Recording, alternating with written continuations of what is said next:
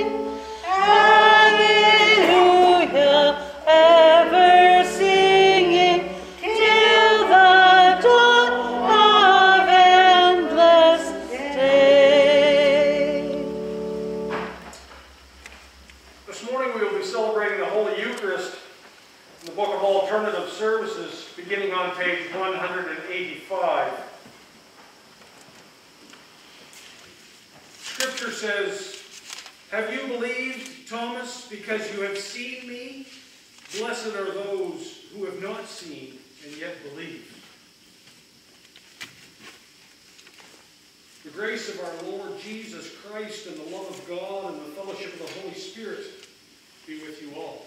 And also with you.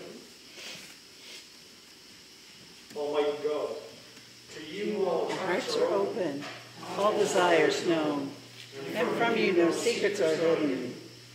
Cleanse the thoughts of our hearts by the inspiration of your Holy Spirit, that we may perfectly love you and worthily magnify your holy name, through Christ our Lord. Amen. Glory to God in the highest.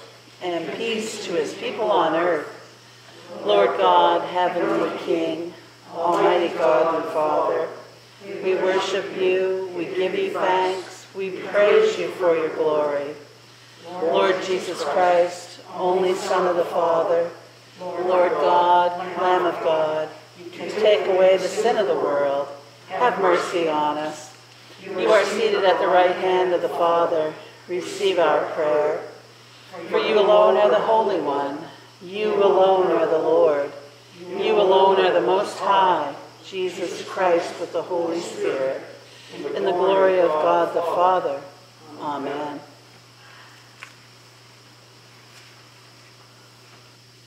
Our collect for today is found on page 336. Almighty and eternal God, the strength of those who believe and the hope of those who doubt, may we who have not seen have faith and receive the fullness of Christ's blessing, who is alive and reigns with you and the Holy Spirit, one God, now and forever. Amen. Please join with me in the proclamation of the word.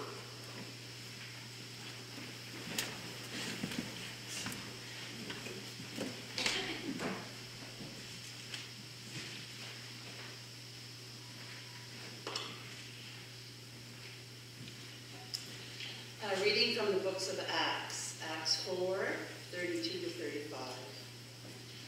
Now the whole group of those who believed were of one heart and soul, and no one proclaimed private ownership of any possessions, but everything they owned was held in common. With great power the apostles gave their testimony to the resurrection of the Lord Jesus, and great grace was upon them all. There was not a needy person among them, for as many as owned lands or houses sold them and brought the proceeds of what they sold. They laid it at the apostles' feet, and it was distributed to each as any had need. The word of our Lord. Thanks be to God. The psalm is Psalm 133. It's found on page 890. And we'll read the psalm responsibly by the half verse.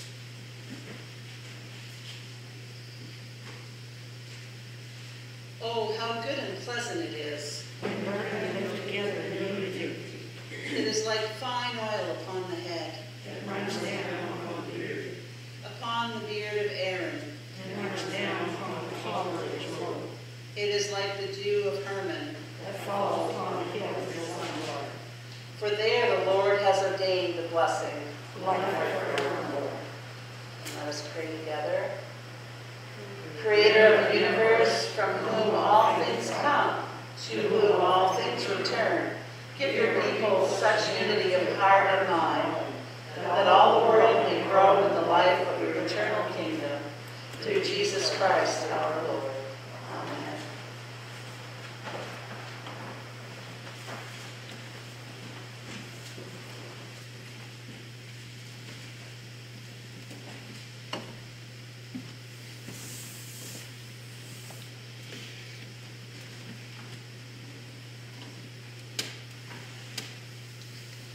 A reading from the first letter of John, chapter 1. We declare to you what was from the beginning, what we have heard, what we have seen with our eyes, what we have looked at and touched with our hands, concerning the word of life. This life was revealed, and we have seen it, and testified to it, and declare to you the eternal life that was with the Father, and was revealed to us. We declare to you what we have seen and heard, so that you also may have fellowship with us. And truly our fellowship is with the Father and with his Son, Jesus Christ. We are writing these things so that our joy may be complete. This is the message we have heard from him and proclaim to you, that God is light, and in him there is no darkness at all. If we say that we have fellowship with him while we are walking in darkness, we lie and do not do what is true. But if we walk in the light, as he himself is in the light, we have fellowship with one another, and the blood of Jesus, his Son, cleanses us from all sin. If we say that we have no sin, we deceive ourselves, and the truth is not in us. If we confess our sins, he who is faithful and just will forgive us our sins and cleanse us from all unrighteousness. If we say that we have not sinned, we make him a liar, and his word is in us. My little children, I am writing these things to you so that you may not sin. But if anyone does sin, we have an advocate with the Father, Jesus Christ the righteous. And he is the atoning sacrifice for our sins, and not for ours only, but also for the sins of the whole world. The word of the Lord. Thanks be to God.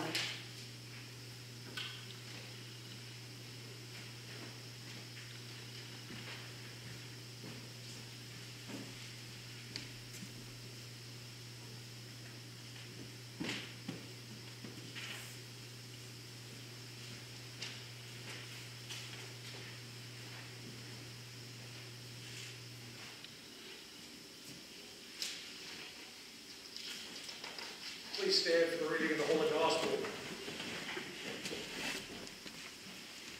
The Lord be with you. And also with you. The Holy Gospel of our Lord Jesus Christ according to John. Glory to you, Lord Jesus Christ. When it was evening on that day, the first day of the week, and the doors of the house where the disciples had met were locked for fear of the Jews, Jesus came and stood among them and said, Peace be with you. After he said this, he showed them his hands and his side. Then the disciples rejoiced when they saw the Lord. Jesus said to them again, Peace be with you. As the Father has sent me, so I send you. When he had said this, he breathed on them and said to them, Receive the Holy Spirit. If you forgive the sins of any, they are forgiven them. If you retain the sins of any, they are retained. But Thomas, who was called the twin, one of the twelve, was not with them when Jesus came. So the other disciples told him, We have seen the Lord. But he said to them, Unless I see the mark of the nails in his hands and put my finger in the mark of the nails and put my hand on his side, I will not believe. A week later, his disciples were again in the house, and Thomas was with them. And although the doors were shut, Jesus came and stood among them and said, Peace be with you. Then he said to Thomas, Put your finger here and see my hands. Reach out your hand and put it on my side. Do not doubt, but believe. Thomas answered him, My Lord and my God. Jesus said to him, Have you believed because you have seen me? Blessed are those who have not seen and yet have come to believe. Now Jesus did many other signs in the presence of his disciples, which are not written in this book, but these are written so that you may come to believe that Jesus is the Messiah, the Son of God, and that through believing you may have life in his name. This is the gospel of Christ. Praise to you, Lord Jesus Christ.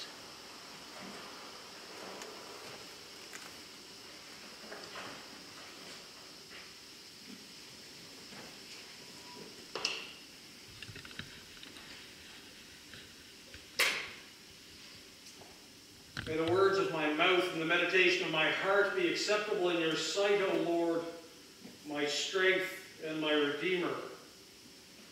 Amen.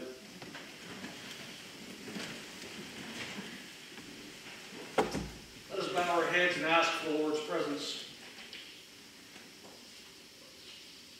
Heavenly Father, as we gather today in your name, we praise you for the sacrifice that took away our sin. As we open our hearts to your message, we praise your name. As we open our minds, we listen for your voice. Lord, as we dedicate our souls to your glory, we pray that you help us to be aware of all those who are around us. Feeding the hungry, housing the homeless, caring for the needy and comforting the broken. We thank you for all your gifts, and we pray that we may share them with everyone we meet. In your name, Lord, we give thanks. Amen.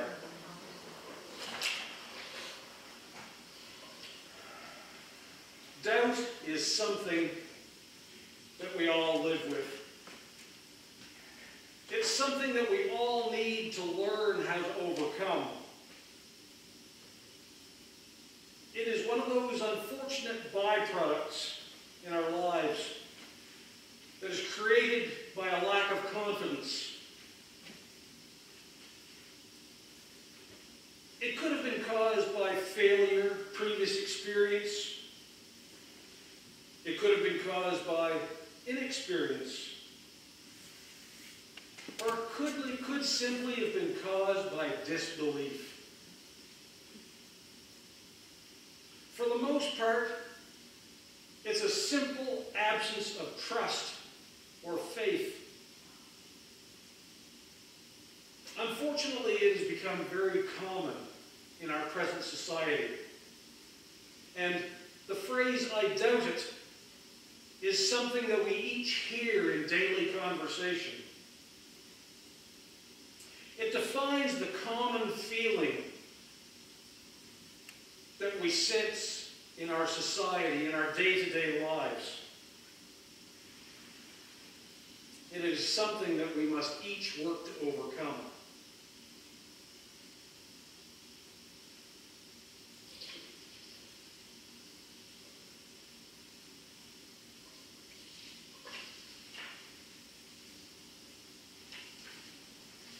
Sorry, I lost my place. That's quite common too. I know the feeling. I thought that I had the confidence to know where I was going, and then I lost myself. But it wasn't doubt, it was bifocals. The Bible tells us many about in both the Hebrew and the Christian scriptures. The book of Acts speaks to us about Peter doubting himself and his abilities when God came and spoke to him in a dream. The book of Genesis tells us about the wrenching heartache experienced by Israel when he was presented with Joseph's coat. And he said, There was no doubt that Joseph had been torn and rent to pieces and lay dead.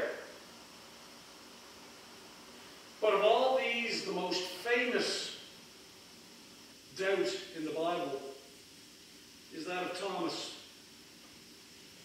He doubted the resurrection of Christ. He doubted his, his appearance and presence among the other apostles. Doubted Jesus.